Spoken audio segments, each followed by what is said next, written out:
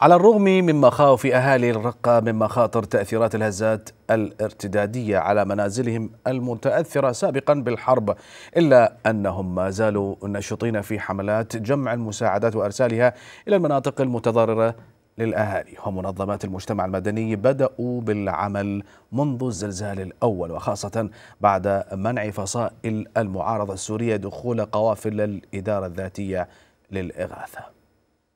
كان هناك عدة حملات في مدينة الرقة حملات من الأهالي وبسبب تخوف كبير وعدم سماح الفصائل العسكرية المتنازعة على الأراضي السورية كان هناك تخوف من عدم السماح لعبور المساعدات. فقرر الأهالي من في مدينة الرقة الخروج ببيان سوري بامتياز حقيقة.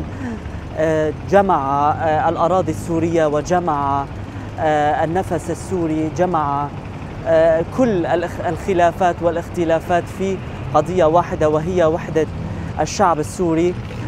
فكان البيان يهدف إلى فتح المعابر وبالفعل هذا ما حصل حيث دخلت المساعدات التي كانت قد بدأت في مدينة الرقة لحملة هنا سوريا وحملات أخرى دعت الأهالي إلى إلى الوقوف جنبا إلى جنب مع أبناء الوطن الواحد وهي سوريا.